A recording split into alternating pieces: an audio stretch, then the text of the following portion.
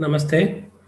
October ఇరవై ఒకటవ తేదీకి భారతదేశ చరిత్రలో ఒక ప్రాధాన్యం ఉంది.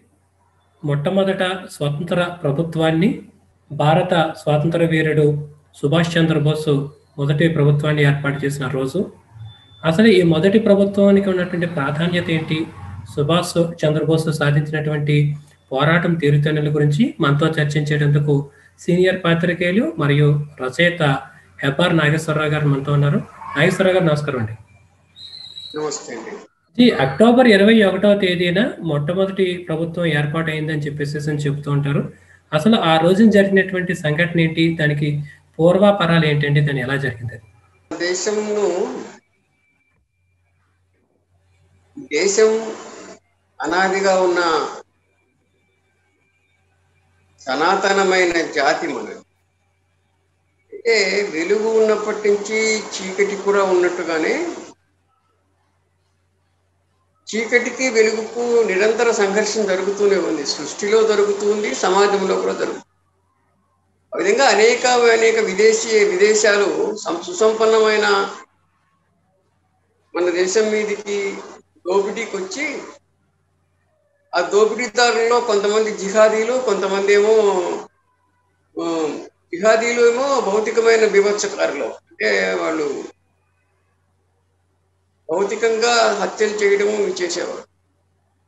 రెండవది ఇంటలెక్చువల్ ఫార్మ్ ఆఫ్ టెర్రరిజం అన్నమాట. అంటే బౌద్ధిక వివత్సం ఈ బౌద్ధిక వివత్సకారులు ఐరోపా వాళ్ళు. ఐరోపా వాళ్ళు వచ్చారు మన దేశాన్ని వ్యాపారం కోసం వచ్చి క్రమంగా ఆక్రమించుకొని ఇక్కడ వాళ్ళే పరిపాలకులుగా చలామణి మన దేశాన్ని బందీగా చేశారు.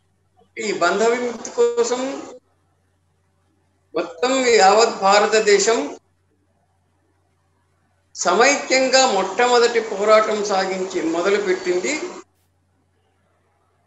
క్రీస్తు శకం పద్దెనిమిది వందల యాభై ఏడు మే పదవ తేదీ నాడు మొదలైంది. స్వాతంత్ర భారత సమరం. అంటే బ్రిటన్కి వ్యతిరేకంగా అంతకు పూర్వం శతాబ్దాల తరబడి అనేక సహస్రాబ్దులుగా రకరకాలైన జాతులు ఈ దేశం మీదకి వచ్చాయి. వాళ్ళని తరిమేశారు. కొంతమందిని మనలోనే ఊడ్చుకున్నామని. ఇప్పుడు గ్రీకులు దాడి చేశారు. తర్వాత పూనులు వచ్చారు శకులు వచ్చారు. వీళ్ళందరూ కూడా మనం పరాజయం చేసి కొంతమందిని పారదోలేసాము కొంతమంది దేశంలో విలీనమయ్యారు అలాగే జిహాదీలు వచ్చారు తర్వాత. వాళ్ళు కూడా ఇక్కడ పరిపాలకులుగా చలామణయ్యారు. చివరికి వచ్చిన ఐరోపా వాళ్ళు మొత్తం దేశాన్ని కొద్ది భాగాలు తప్ప ఏదో కొన్ని ప్రాంతాలు తప్ప మిగతా దేశానంతా కబ్జా చేశారు. అప్పుడు ఈ కబ్జా నుంచి దేశాన్ని విముక్తం చేయడానికి మొత్తం వాళ్ళు వచ్చినప్పటి నుంచి కూడా పోరాటాలు జరుగుతూనే ఉన్నాయి. అంటే ఎప్పుడు ఎప్పుడైతే వాళ్ళు వాళ్ళ పరిపాలన అంటూ మొదలు పెట్టారో అప్పటి నుంచి కూడా అనేక ప్రాంతాల్లో జరుగుతూనే ఉన్నాయి పోరాటాలు వాళ్ళు వ్యతిరేకంగా. అంటే అవన్నీ కూడా ఏ ఏ ప్రాంతానికి ఆయా ప్రాంతం వాళ్ళు బ్రిటన్కు వ్యతిరేకంగా పోరాటాలు చేశారు. అయితే ఆ ఐకమత్యంతో అందరూ కలిసి అన్ని ప్రాంతాలు కలిసి ఒక జాతీయ స్థాయిలో పోరాటం మొదలెట్టింది? ఆ మే పన్ పదవ తేదీ నాడు పద్దెనిమిది వందల యాభై ఏడు పద్దెనిమిది వందల యాభై ఏడు. అయితే దీనికి పరాకాష్ట ఏమిటి అంటే ఈ సాయుధ సమరం జరిగిందన్నమాట. తొంభై ఏళ్ళ పాటు ఈ దేశాన్ని బ్రిటన్ యొక్క ఆ, దురాక్రమణ నుంచి విముక్తం చేయడానికి తొంభై ఏళ్ళ పాటు నిరంతరం పోరాటం జరిగింది. అంటే అక్కడ మంగళ్ పాండే ఝాన్సీ లక్ష్మీబాయి వాళ్ళు మొదలు పెడితే దానికి పరాకాశ సుభాష్ చంద్రబోస్ నిరంతరం జరుగుతూనే ఉంది ఈ సాయుధ సమరం బ్రిటన్ వాళ్ళకు వ్యతిరేకంగా. రెండో వైపున సత్యాగ్రహ సమరం కూడా జరిగింది. కాబట్టి రెండు రకాలుగా పోరాటాలు జరిగినాయి బ్రిటన్ వాళ్ళకు వ్యతిరేకంగా.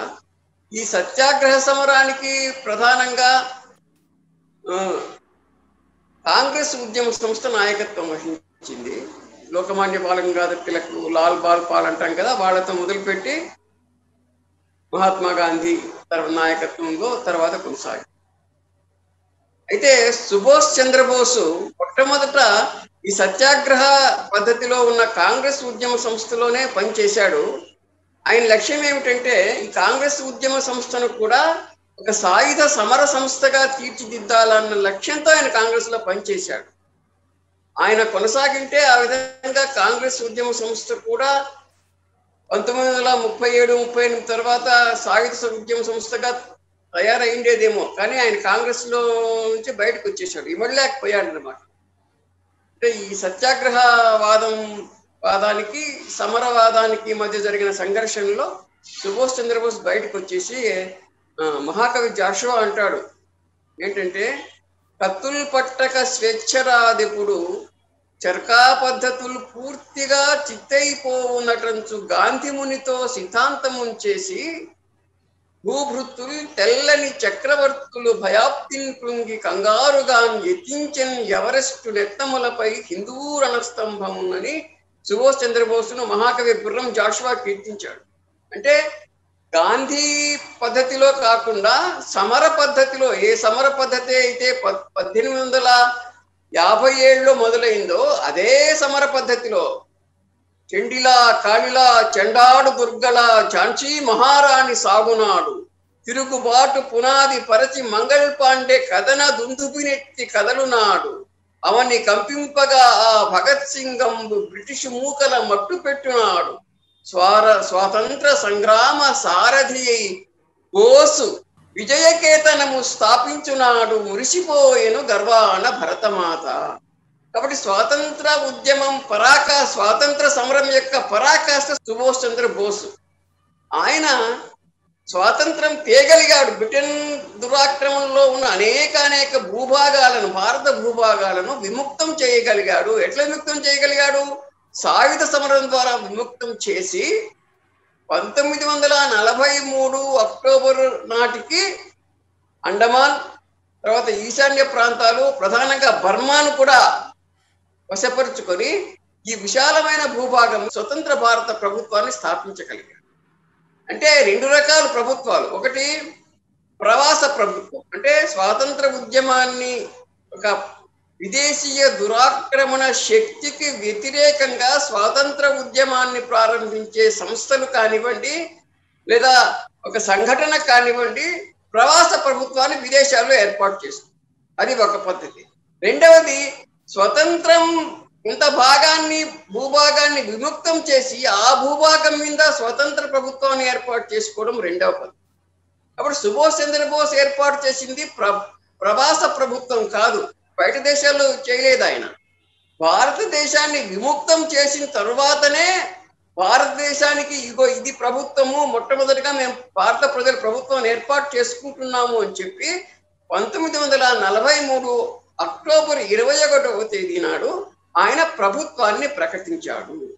అప్పటికి ఈశాన్య ప్రాంతం అంటే మన దేశంలోని ఈశాన్య ప్రాంతం అండమాన్ అండమాన్ ద్వీపాలు బర్మా కూడా సుభాష్ చంద్రబోస్ యొక్క ప్రభుత్వం యొక్క అధీనంలోకి వచ్చింది. కాబట్టి స్వతంత్ర భారతదేశంలో మొట్టమొదటి ఏర్పాటైన స్వతంత్ర ప్రభుత్వం ప్రథమ ప్రభుత్వం ఏది అంటే సుభాష్ చంద్రబోస్ నాయకత్వంలో ఏర్పాటైంది.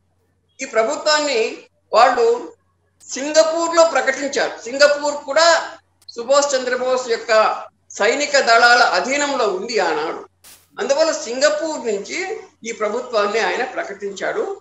దానికి ఆ ప్రభుత్వ అధినేత ప్రధానమంత్రి సుభాష్ చంద్రబోస్. తర్వాత అనే ఒక పది మంది మంత్రులు కూడా అందులో ఉన్నారు.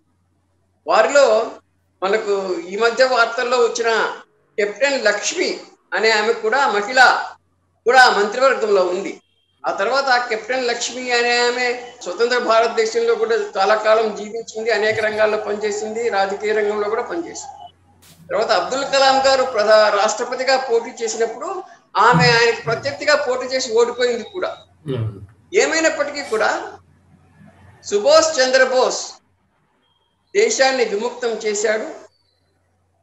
ఆ విముక్తి కలిగిన తర్వాత మాత్రమే ప్రభుత్వాన్ని ఏర్పాటు చేశాడు అందువల్ల ఆయన స్వతంత్ర భారతదేశానికి మొదటి ప్రధానమంత్రి చెప్పడం చారిత్రకమైన న్యాయం. మీరు ఇప్పుడు సుభాష్ చంద్రబోస్ గారిని మొదటి ప్రధానమంత్రి అని అంటున్నారు కదండి. అసలు సుభాష్ చంద్రబోస్ గారి వ్యక్తిత్వం ఏంటి? ఆయన చేసినటువంటి పోరాటం ఏంటి? దేశ చరిత్రలో ఆయన్ని గుర్తుంచుకోవాల్సిన ఆవశ్యకత ఏంటంటారండి? ఆయన పోరాటం ఏమిటి అంటే సుభాష్ చంద్రబోస్ మొదటి నుంచి కూడా చిన్నప్పటి నుంచి కూడా ఒక జాతీయ తత్వజ్ఞుడు జాతీయ తత్వ నిష్ట కలిగిన వాడు సుభాష్ చంద్రబోస్. ఆయన దొంగల్ని ఇప్పుడు దొంగలు మన ఇంటికి వచ్చారు. మన ఇంటికి వచ్చిన దొంగల్ని మనం తరిమేయాలి. ఈ తరిమేదానికి రెండు రకాల పద్ధతులు ఉన్నాయి అనుకోవడం ఒక భ్రమ. దొంగల దగ్గరికి పోయే దొంగలు మీరు మా ఇల్లును సక్రమంగా చూసుకోండి మా ఇల్లు పడిపోకుండా చూసుకోండి మా మాకందరికీ అన్నం పెట్టండి మాకు మంచి బట్టలు ఇవ్వండి అని ప్రాధేయపడే పద్ధతి ఒకటి. తర్వాత చివరికి దొంగలు గారు మేము కూడా మా ఇంటిని మేము సర్దుబాటు చేసుకోగలము నిర్వహించుకోగలము కాబట్టి మీరు వెళ్ళిపోండి అని చెప్పే పద్ధతి ఒకటి ప్రాధేయ ప్రాధేయపడే పద్ధతి దొంగల ముందు రెండో పద్ధతి ఏమిటి? రే దొంగ విధవా నువ్వు నీకేం సంబంధం రా? ఇంట్లో మా ఇంట్లోకి రావడానికి నువ్వు మా ఇంట్లోకి వచ్చి తిష్ట వేసావు పోతావా? తన్ని తరిమేయమంటావా అని చెప్పి తన్ని తరిమేసే పద్ధతి దొంగలు మరొక కాబట్టి ఈ విధంగా తన్ని తరిమేసే పద్ధతి ఏదైతే ఉందో దాన్ని పద్దెనిమిది వందల యాభై ఏడులో స్వాతంత్ర సమర యోధులు స్వీకరించారు. ఆ పద్ధతికి సుభాష్ చంద్రబోస్ చిన్నప్పటి నుంచి కూడా ప్రభావం పొందాడు ఆ పద్ధతి నుంచి. పొంది ఏం చేశాడు? ఈయన ఒక ప్రఖరమైన జాతీయ తత్వజ్ఞుడిగా తయారయ్యాడు వ్యక్తిత్వం ఆయన యొక్క సౌశీల్య వికాస చరిత్ర చూసినట్టయితే మొదటి నుంచి కూడా ఆయన కుక్కకాటుకు చెప్పు దెబ్బ అనే పద్ధతిలోనే ప్రవర్తించాడు. ఆయన పరీక్ష రాయడానికి సివిల్ సర్వీస్ ఐసిఎస్ పరీక్ష రాయడానికి ఆయన బెంగాలీ వంగ ప్రాంత భాషా జన సముదాయానికి చెందినవాడైనప్పటికీ కూడా ఆయన వాళ్ళ నాన్నగారు ఒరిస్సాలో పనిచేస్తున్నప్పుడు ఆయన కటక్లో జన్మించాడు. తర్వాత బెంగాల్లో పెరిగాడు. తర్వాత ఐసిఎస్ పరీక్ష కోసం ఇంగ్లాండ్కి వెళ్ళాడు ఆయన. ఇంగ్లాండ్కి వెళ్ళి ఏం చేశాడు? పరీక్ష రాసేటప్పుడు మొదట సంస్కృత భాషలో రాసేశాడు. పరీక్ష అంతా కూడా ఆయన. అన్ని పేపర్లు కూడా మొదట సంస్కృత భాషలో రాసేయడము తర్వాత దాన్ని ఇంగ్లీష్లోకి తర్జుమా చేయడం. ఈ పద్ధతిలో ఆయన పరీక్ష రాశాడు చాలా అద్భుతమైన విషయం ఇది. కానీ అలా చేయడానికి సమయం చాలదు కదా. ఆ సమయం చాలని స్థితిలో అన్ని ప్రశ్నలకు సమాధానం రాయలేదు. అయినప్పటికీ కూడా ఆ రాసిన ప్రశ్నల వల్లలోనే ఆయన యొక్క ప్రతిభ గుర్తించి ఆయన ఐసిఎస్ పట్టా వచ్చింది. కానీ ఐసిఎస్ పట్టా ఎందుకు చేతి ఆయన చెప్పాడు నేను కూడా ఒక ప్రతిభావంతుడు నిరూపించుకోవడానికి భారతీయుల యొక్క ప్రతిభ తక్కువ కాదు అని చెప్పడానికి చేశాను. కానీ ఈ విదేశీయులైన దురాక్రమణదారులైన ఆంగ్లేయుల యొక్క కొలువు చేయడానికి కాదు అని చెప్పి ఏనాడైతే ఐసిఎస్ ఆయనకు ప్రధానమైందో ఆనాడే రాజీనామా కూడా చేశాడు. అంటే అటువంటి దేశభక్తుడు అన్నమాట సుభాష్ చంద్రబోస్. ఆయన కాంగ్రెస్లో చేసి చేరి పనిచేశాడు. చిన్నప్పటి తర్వాత ఐసిఎస్కి రాజీనామా చేశాడు. చిత్తరంజన్ దాస్ అనే ఆయన దగ్గర శిష్యరికం చేస్తూ ఆ విధంగా కలకత్తాలో ఎదిగాడు. కలకత్తాలో ఆయన కలకత్తాలోను బెంగాల్లోను రాజకీయాల్లో పాల్గొన్నాడు. తర్వాత ఆయన కాంగ్రెస్ మహాసంస్థకు జాతీయ స్థాయి అధ్యక్షుడిగా ఎదగలిగాడు. అంటే చిన్న వయసులోనే పంతొమ్మిది వందల ముప్పై ఏడు ఉంటే ఆయనకు ఈ ముప్పై తొమ్మిదేళ్ళ వయసులోనే కాంగ్రెస్ అధ్యక్షుడు కాగలిగాడు. అయితే ఆయనకు ఈ పద్ధతి నచ్చలేదు. ఈ ప్రాధేయపడే పద్ధతి ఆయనకు నచ్చక బయటికి వెళ్ళిపోయాడు బయటికి వెళ్ళిపోతే ఆయన అరెస్ట్ చేసి ఇంట్లో పెట్టారు. గృహ నిర్బంధంలో పెట్టారు. గృహ నిర్బంధంలో పెడితే గృహ నిర్బంధం నుంచి ఆయన మాయమైపోయాడు. అంటే ఏమిటి? విదేశీయుడైన దురాక్రమణదారుడైన శత్రువు యొక్క ఎత్తుగడలను చిత్తు చేయగల జాతీయ తత్వం పటిమ ఆయనలో ఉందన్నమాట. ఛత్రపతి శివాజీ అదే చేశాడు. ఔరంగజేబ్ బంధించినప్పుడు తప్పించుకొని వచ్చాడు ఛత్రపతి శివాజీ. వీర సావర్కర్ కూడా బ్రిటన్ వాళ్ళు ఓడలో బంధించి ఓడలో తీసుకొని వస్తుంటే తప్పించుకొని వెళ్ళిపోయారు. ఏ పరంపరలో నేతాజీ సుభాష్ చంద్రబోస్ కూడా కలకత్తాలో ఆయన నిర్బంధంలో ఉంచితే అక్కడి నుంచి అదృశ్యమై ఆఫ్ఘనిస్తాన్ ఆఫ్ఘనిస్తాన్కి వెళ్ళి అక్కడి నుంచి జర్మనీకి వెళ్ళి అక్కడి నుంచి జపాన్ చేరి ఒక మహా సంఘటనను నిర్మించి అజాస్ హింద్ ఫౌజ్ హిందుస్థాన్ నేషనల్ ఆర్మీ దానికి నాయకత్వం వహించి ఆ నాయకత్వంలో అంటే కేవలం ఐదారేళ్ళలోనే ముప్పై ఎనిమిదిలో ఆయన కాంగ్రెస్ అధ్యక్ష పదవికి రాజీనామా చేశాడు.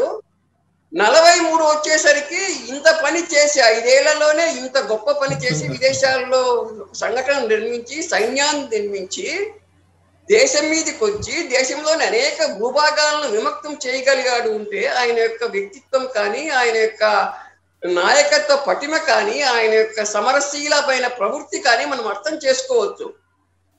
బందీవై పహరా జవానుల కనులు బంధించి ఏ రీతిగా హిందూ మాతను బాసి వాలితి జపాన్ పృథ్వీన్ మహావీర అంటాడు చాశ్వా ఈ మహావీరుడి గురించి. బందీగా ఉన్నాడు ఇంట్లో కానీ అదృశ్యమైపోయాడు. చివరికి జపాన్లో ఉన్నట్టు తెలిసింది ఆయన. జపాన్ నుంచి బ్రిటన్ దురాక్రమిత దేశం మీదకి దాడి చేశాడు. దురాక్రమణను కొంతమేరకు విముక్తం కూడా చేయడు.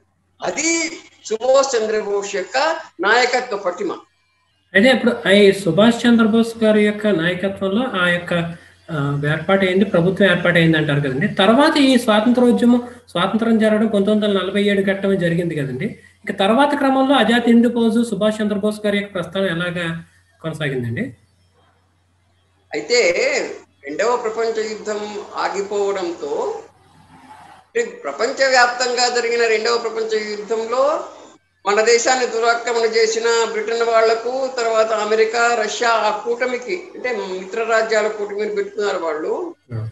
వాళ్ళకి విజయం జరగడం అనేది ఒక ప్రధానమైన పరిణామం.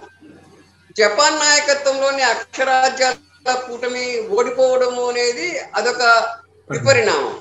దీనివల్ల ఏమైంది? ఎప్పుడైతే జపాన్ సహాయం మనకు ఇంకా రాదు అనుకున్నాడో నేతాజీ సుభాష్ చంద్రబోస్ అక్కడి నుంచి బయటికి బయలుదేరి వచ్చేసాడు ఆ తర్వాత ఆయన్ను మరి ఏ ఎలా జరిగిందో ఏమిటో ఆ కథ మనకు తెలియటం లేదు. నేపా నేతాజీ సుభాష్ చంద్రబోస్ మాత్రం ఆ తర్వాత కూడా అనేక సంవత్సరాల పాటు జీవించాడు. అయితే ఆయన దేశంలోకి రానియకుండా తర్వాత ఆయన్ను రష్యాలో బందీగా ఉంచి కొన్నాళ్ళు తర్వాత దేశంలోకి రానివ్వకుండా కొన్నాళ్ళు ఈ కాంగ్రెస్ నాయకత్వం అంటే జవహర్లాల్ నెహ్రూ నాయకత్వంలోని ప్రభుత్వం పనిచేసిందని కూడా మనకు చాలా కాలం ప్రచారం అయింది ప్రచారం మాత్రమే కాదు ఇది కేవలం ఏదో అబద్ధం చెప్తున్నారు ప్రచారం చేసినట్టు కాదు. నిజానికి జవహర్లాల్ నెహ్రూకు భయం ఉండేది. నేతాజీ మళ్ళీ దేశాన్ని లేకొస్తే తన నాయకత్వం తలకిందులైపోతుంది తనకు పదవి పోతుంది. నేతాజీ నాయకుడిగా తయారవుతాడనే భయం కూడా జవహర్లాల్ నెహ్రూకు ఉండేది. అయితే ఒకటి ఏంటంటే ఆ రాష్ట్రపతి ఉపరాష్ట్రపతిగా ఉన్న సమయంలో రాధాకృష్ణన్ రష్యాకు పోయినప్పుడు నేతాజీకి సంబంధించిన వివరాలు ఆయనకు తెలిసినట్టుగా కూడా ప్రచారమైంది. ఆయన నేతాజీని జైల్లో పెట్టారు. అప్పుడు స్టాలిన్ తర్వాత క్రుశ్చేవ్ వాళ్ళు కూడా నెహ్రూకు మిత్రులు వాళ్ళు జవహర్లాల్ నెహ్రూకు మిత్రులు. పైగా నేతాజీ యొక్క జాతీయ తత్వం కమ్యూనిస్టులకు నచ్చేది కాదు కాబట్టి ప్రఖర జాతీయవాది అయిన నేతాజీని అక్కడే బందీగా పెట్టారని కూడా వార్తలు వచ్చాయి. అయితే అదంతా వేరే విషయము. కానీ నేతాజీని మనం ఈనాడు ఎందుకని ప్రధానమంత్రిగా గుర్తించాలి అలా గుర్తించడం ఎందుకు చారిత్రకమైన న్యాయం అని చెప్తున్నానంటే అనేకానేక దేశాల్లో స్వాతంత్ర పోరాటాలు జరిగినప్పుడు స్వాతంత్రం వచ్చే వరకు వాళ్ళు ఆగలేదు. ఏ రోజైతే స్వాతంత్ర సమరం ప్రారంభమైందో ఆ ప్రారంభ దినాన్ని వాళ్ళు ఆ దేశం వాళ్ళు అనేక దేశాలు. ఇప్పుడు అమెరికాలో పదిహేడు వందల డెబ్బై ఆరవ సంవత్సరం క్రీస్తు శకం పదిహేడు వందల డెబ్బై ఆరవ సంవత్సరం జూలై నాలుగవ తేదీన బ్రిటన్కి వ్యతిరేకంగా సమరం ఆరంభమైంది అమెరికాలో. ఆ రోజునే వాళ్ళు స్వాతంత్ర దినోత్సవం జరుపుకుంటున్నారు. కానీ నిజానికి అమెరికాకి స్వాతంత్రం ఎప్పుడు వచ్చింది తర్వాత తొమ్మిదేళ్ళకు వచ్చింది అన్నమాట కాబట్టి తొమ్మిదేళ్ళకు వచ్చిన స్వాతంత్రానికి ముందుగానే ఏ రోజు ప్రారంభమైందో ఆ రోజునే స్వాతంత్ర దినోత్సవం వాళ్ళు జరుపుకుంటున్నారు.